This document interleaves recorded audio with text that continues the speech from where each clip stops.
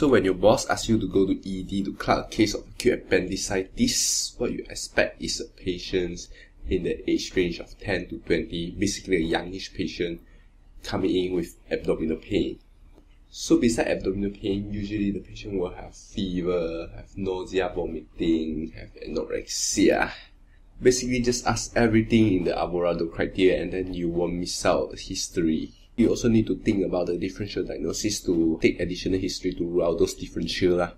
For example, ectopic pregnancy, ask the last menstrual period, or is simply take a UPT, urine pregnancy test, which the ED people usually take before they refer to us and then also take amylase if the pain is not in right iliac fossa but more upper to epigastric to hypochondrial area and also ask about previous history of gastritis food intake to out AGE sometimes we will order an abdominal x-ray to see if there's anything lah.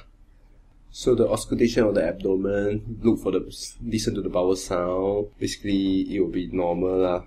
Check for right iliac fossa tenderness, of course.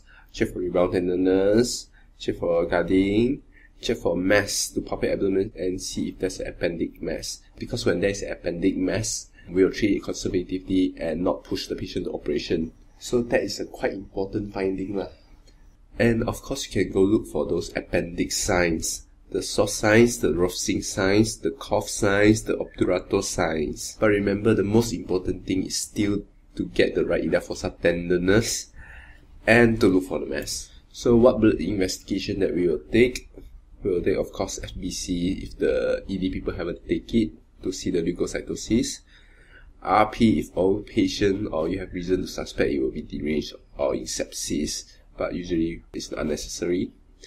Coag if the patient is old, sepsis, or have history of lung bleeding, usually we won't take. GSH is very important since the patient is going to op. And please remember to insert a large bore rather than green or grey when you are taking the blood. Ask the patient when is her last meal since we are pushing the patients to operations. Keep the patient nil by mouth. And then um, your boss will book for the open appendicectomy. So the post-op management of the patient depends on the findings in the operation. If it is inflamed appendix, we just allow already when patient is fully conscious of the antibiotics. Wound inspection day 3. Allow discharge when the patient pass flatus and BO. We will continue the antibiotic if the appendix is suppurative or perforated. If the appendix is perforated, we will have to inspect the wound before discharge as the rate of wound breakdown can get up to 40%. And if the appendix is wide, find other causes.